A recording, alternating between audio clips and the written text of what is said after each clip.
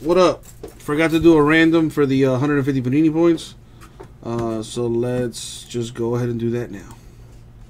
All right. So this is where uh, for classics football number seven. Had 150 Panini points. Forgot to random them, so let's do that now. The die says 10 times on the random. So let's head over to the list randomizer. And let's put that on the screen here. Alright, let me grab the teams.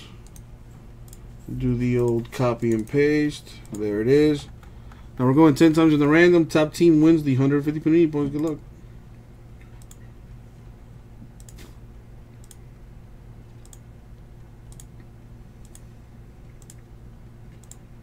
And the money shot 10. Boom, 10 times. Congrats, Vikings. You get 150 Panini points.